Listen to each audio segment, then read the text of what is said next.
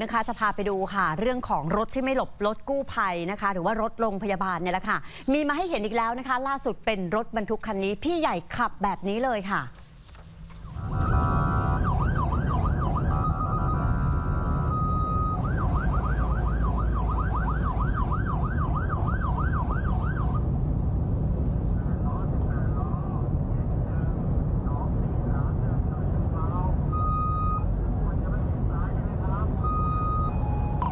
นชัดเจนนะคะคุณผู้ชมคือรถคันที่เขาติดกล้องเนี่ยเขาขับตามมา แล้วเขาก็เห็นพฤติกรรมเนี่ยค่ะรถฉุกเฉินพยายามจะขอทางนะคะ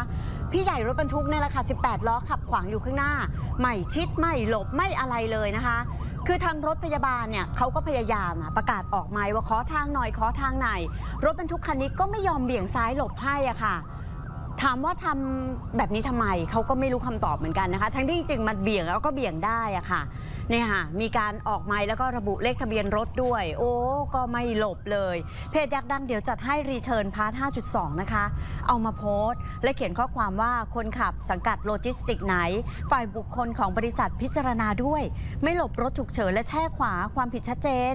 เนี่ยเส้นบ้านบึงชนบุรี เจ้าของพื้นที่ไล่เช็คทะเบียน ลงโทษตามข้อกฎหมายด้วย ถ้าคนในรถฉุกเฉิน เป็นพ่อของคนขับรถสิบล้อที่ขวางหน้าจะพีคมาก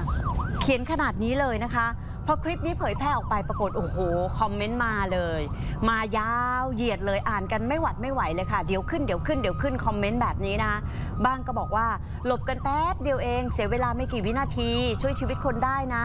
บางคนก็บอกสงสัยต้องพักใบอนุญาตขับรถแล้ว ควรพิจารณาโทษพักงานหรือว่าไล่ออกไปเลย และบางคนก็เข้ามาเมนไม่เฮียจริง ไม่เฮียนะ ไม่เฮียจริง ไม่กล้าทำแบบนี้ บางคนบอกปกติเส้นนี้แล้วรถใหญ่ส่วนมากเนี่ยเช้าเย็นๆเลยค่ะ จะวิ่งกันแบบเนี้ยช่วงเวลาเร่งด่วนก็เป็นแบบนี้นะคะอันล่าสุดคุณผู้ชมค่ะเจ้าของรถ 10 ล้อคันนี้นะคะ 18 ล้อสี่นะ มีการโพสต์ ผ่านเพจของบริษัทแล้วนะคะเนี่ยรู้เรื่องแล้วแล้วก็บอกว่าบริษัทกราบขออภัยที่มีเหตุการณ์รถบรรทุกไปขวางทาง รถฉุกเฉินของโรงพยาบาลค่ะ ทางคณะผู้บริหารรู้สึกเสียใจ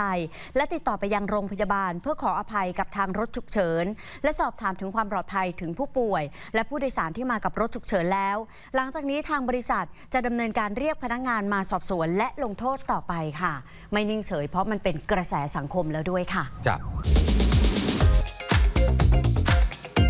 รู้ข่าวไวเข้าใจง่าย กด subscribe ข่าวช่อง 8